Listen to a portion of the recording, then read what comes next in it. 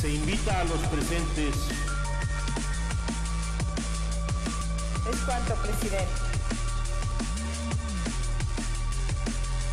De conformidad con los acuerdos de esta sesión,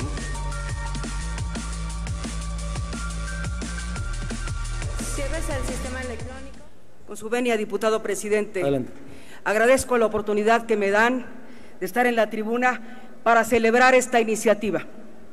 Y efectivamente, cuando recién iniciábamos esta legislatura, esta servidora, junto con la diputada promovente, presentamos una iniciativa en este sentido. En este país creo que tenemos los trastos de la cabeza al revés, porque hay dos problemas. El primero lo tienen los jóvenes. A los jóvenes no les dan empleo porque les falta experiencia.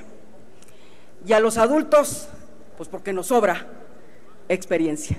Entonces, cuanto se haga en este país, y desde este espacio se pueden hacer un millón de cosas para que este país sea productivo, para que la gente sea productiva y para darle de veras en toda la torre a la delincuencia organizada, porque el trabajo, el trabajo con trabajo, es un arma insustituible para cambiar la realidad de México. Así que yo celebro esta iniciativa, celebro que desde la Cámara de Diputados estemos generando las condiciones para que en este país todos tengamos empleo.